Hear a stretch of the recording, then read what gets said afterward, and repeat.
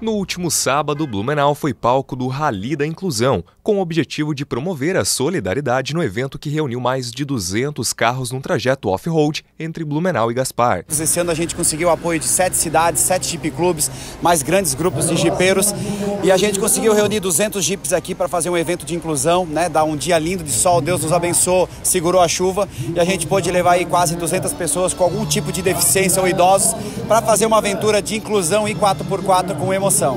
Com certeza. Antes, o Rally da Inclusão era mais focado em Blumenau, né? Agora se expandiu para o Vale do Itajaí. Como foi esse processo de expansão do Rally da Inclusão? É, foi muito fácil o abraço do jipeiro. O jipeiro é um povo de inclusão que abraça causas sociais. Não é só na enchente que a gente aparece. E aí o jipeiro, desde o primeiro, do segundo, do terceiro e agora no quarto, abraçou, foi convidando a sua cidade. E a gente pôde contar aí com todo o Vale Itajaí participando através dos seus Jeep Clubes aqui em Blumenau. Os participantes são atendidos por 15 instituições socioassistenciais da região, incluindo a Associação de Paradesporto de Blumenau, a Secretaria da Inclusão da Pessoa com Deficiência e Paradesporto, a CEIDEP, e também da Prefeitura de Blumenau.